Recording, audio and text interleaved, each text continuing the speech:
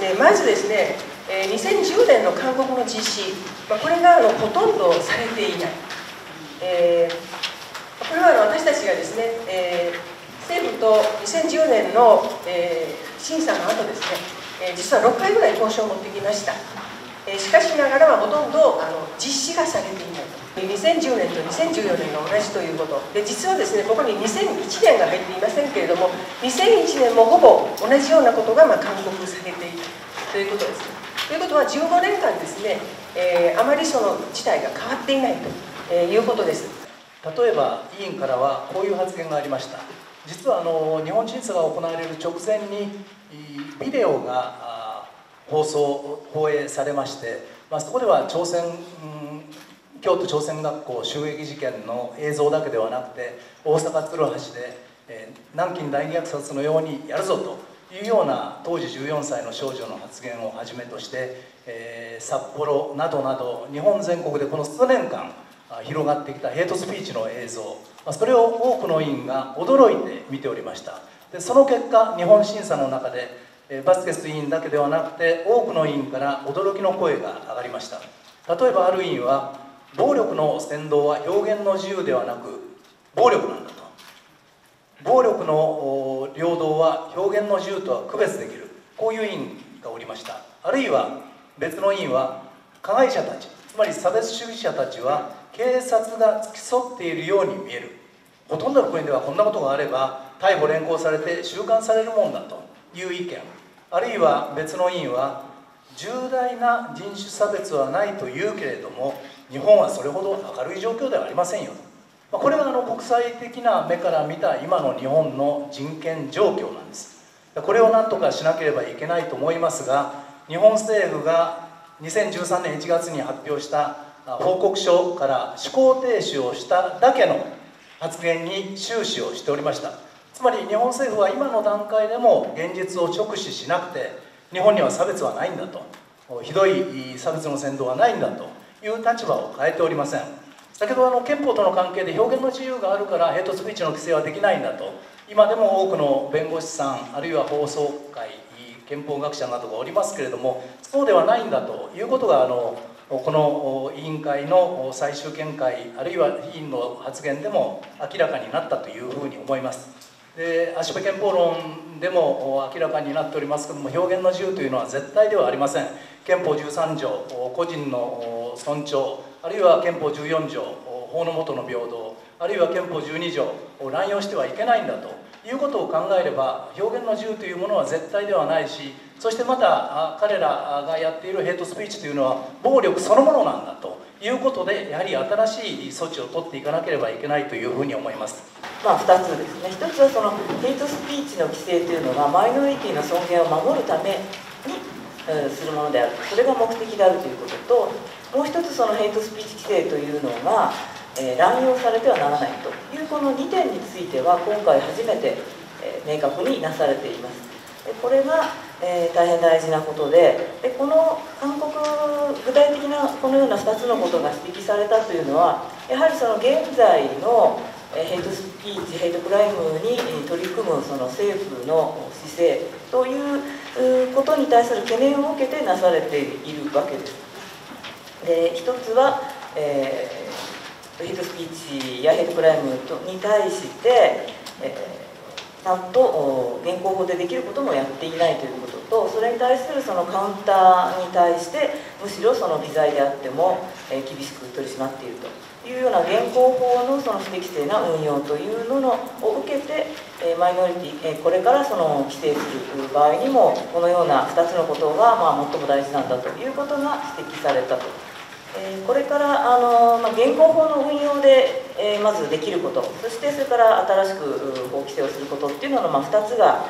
勧告されてるわけですけれどもどちらにおいてもこの観点で見ていくことが大変重要だということです。えこの琉球沖縄の現状に関しまして、え委員会の方からのあの勧告は委員会は締約国がその見解を見直し琉球人を先住民族として認めることを検討し彼らの権利を保障するための具体的な措置を講じることを勧告すると書いてあります。で委員会はまた締約国が彼らの権利の促進と保護に関連する問題についてここですね。琉球の代表者との協議を向上させることを勧告するというふうに言っております。で委員会は、え、さらに締約国が琉球の言語消滅の危機から保護するために講じられる措置の実施を促進化し琉球民族が自身の言語で教育を受けることを促進し学校のカリキュラムで使用される教科書の中にこれらの、えー、ものの歴史と文化を含めることを勧告するというふうに、えー、なっております。であの先ほど琉球の代表者とよくあの話し合いということになっておりますけれどもそれがあのなされてない現状が実はあの基地問題に特化される状況になっています。で委員会の中ではやはりあの先住民族の土地を奪ったり言語を奪ったりえその文化を奪ったりということに関してはあのしっかりと勧告をしておりますけれどもまあこの基地問題に関してはあまりあの委員長そのものが、えー、まるでそぐわないかのような前文といいましょうかおっしゃってましたけれどもそれは私たちはあの大変、えー、違和感を感じました。なぜかと言いますとこの歴史を背景にして私どもはあの活動しておりますのでやはり1879年の450年間独立した、え、1879年までは琉球王国でありましたしその琉球王国へ日本政府は、え、軍隊を派兵して強制的に併合して植民地にしたという歴史があるわけです。沖縄県民の8割以上が辺野古に新しい基地を作らせないというそういう思いを持っていることを全く無視して県民のそういう思いを土地を奪われて海を奪われてさらにそこに住んでいる生き物すら絶滅の危機に瀕する生物すら無視して新しく基地をその埋め立てて作ろうとしていること。そのことに対する、まあ、県民の怒りというのがあるわけです、えー、童話対策事業特別措置法がある時は童話地区住民と呼び法律が終わったら日本国民の一部というふうに呼ぶ。あるいはブラック民とかブラック出身者とか、まあ、概念がバラバラなのでこれでは問題の解決に当たれないので統一したブラック民の定義をきちんとしなさい、まあ、これが勧告です。33年間童話事業を取り組んできました。で成果と課題に関してモニタリングをしっかりして平等が実現したかどうかこれを統計的数字で示せと。これがあらゆる形態の人種的差別と戦う方向性を示しているというふうに思います。最後にその戸籍情報を使って差別事件を起こした全ての事件を調査して責任者を処罰しろと。でこの事件を調査していきますがいけば戸籍情報は誰が作ってるのか。戸籍を公開原則にしてきたのは誰なのか。ブラック差別の責任者は誰なのか。というところに実は行き着くわけでそれがこの条約のディセント社会的身分または門地ここに入らないと言い続けているのは実は戸籍の問題が背景にあるということでこれを隠したいという、まあ、この日本政府の本音はそこにほの見えていると、まあ、いうことでこの勧告は本質的なところでの指摘として、えー、私たちは歓迎したいと思います。以上です。え私からは、え人種差別という人権侵害が事前あるいは事後に救済されるシステムそのものが、え日本には欠如していると、え韓国の旧ですね国内人権機関を早く設置しなさいという勧告です。で国内人権機関は、まあ、行政あるいは司法による人権侵害の救済をあの補完するものとして1970年後半から各国が設置をし始めました。政府から独立した機関です。で1993年にはパリ原則というものが出来上がって国連としてもあるべき国際国内人権機関の基準を発表したと、えー、しかし今は120カ国以上にこうした機関が設置されていますけれども、えー、日本にはずっとないと。でもう数年前から国連の各機関から、えー、速やかに設置しなさいということを繰り返し勧告されています。で今回も同じ勧告になったと。で日本の状況としては、えー、2012年の12月に、まあ、あの人権委員会設置法案が条例あ国会に提出されましたけれどもあ衆議院議員が衆衆議院の解散によって廃案となりまして、え、自民党政権にまたその後戻ってからは動きが全く認められません。このことについてあ速やかに、えー、設置を進めるようにという勧告が出されました、えー、2点目は個人通報制度です。で、えー、この個人通報制度については、え、日本は、えーこの条約の14条の受託宣言というものをしていない必要な手続きを踏んでいないために、えー、日本では適用がされませんけれども、えー、これも速やかに受託宣言をしなさいという指摘を受けています。え今回の、え総括所見のポイントとなるのはやはり、え2010年2月これは前回の人種差別撤廃委員会が開かれた、え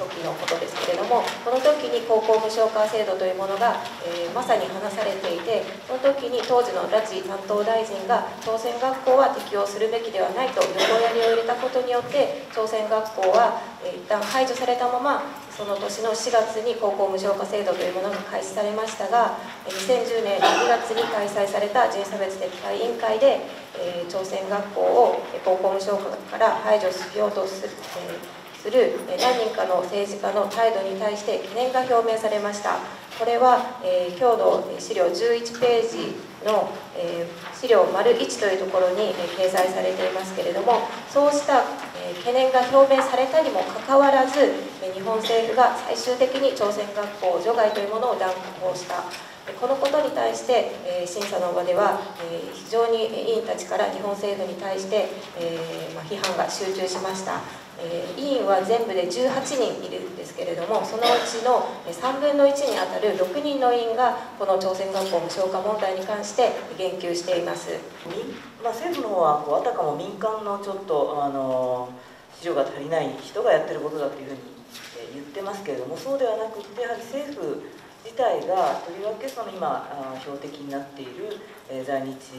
朝鮮人在日コリアンに対してその差別的な扱いをずっとやってきたと、まあ、象徴的なのがその朝鮮学校の高校無償化制度からの排除ですけどもそのような公的な差別というのがやはり民間におけるそのヘイトスピーチヘイトクライムというのの蔓延を、えー、促している。し実際政府はその蔓延状態を見ないようにしてきて、え見ないだけではなくってえ、むしろ積極的にその現場にいるのに逮捕しないで反対する方を逮捕するというその人種差別に手を貸す態度を取ってきたということがやはりこれまでのその蔓延を招いたというふうに考えています。それから、えーまあ、ヘイトスピーチ、まあ、あの自民党のプロジェクトチームができたということについては、えーまあ、評価をしたいとでこれからあのまあ、これまでずっと私たちは人種差別禁止法というのを求めてきましたけれども、まあ、具体的にそのヘイトスピーチ対策に取り組むということで、えー、自民党も動いてきたのでもともとその有田さんたちが立ち上げてくださっているその議連とはあの議連に対してはまあ全面的に協力をしてきましたけども自民党も具体的に動くということですので、えー、この勧告を持ってこの勧告を実施してもらいたいと。そしてまあ先ほどの一般的勧告をに具体的に示されている基準を持って、えー、ヘイトスピーチを含む差別に対する法制度というのを整えていってもらいたいということであの協議をしたいと思います。まあ、今のこの日本は先進国の中でですね人権状況としてはどういう位置にあるのかということをちょっと教えてください。まあ、あの世界全体を見ればですねもっと凄まじい人権侵害いろいろあるわけであのただ少なくともその恵まれている先進国の中では、まあ、本当に印象で申し上げると数十年ぐらい遅れていると例えば私が先ほどあの言及した国内人権機関について見れば1970年ぐらいから、まあ、あの進んできている中で日本ではまだあのできていないとかですねただまあテーマによってはもっと遅れているものもあるかもしれないしあのより進んでいるものもあるかもしれないのでなかなか一括に申し上げるというのはあの難しいかなと思います。ただまあ日本はあのこれだけ経済的に発展していて弱者を保護しようとすれば、えできるそれだけのま経済的な余裕があるにもかかわらずそこに、えまあ、経済的な資源あるいは人的な資源を積極的に注ごうという姿勢が欠如しているという点は大きく指摘できる。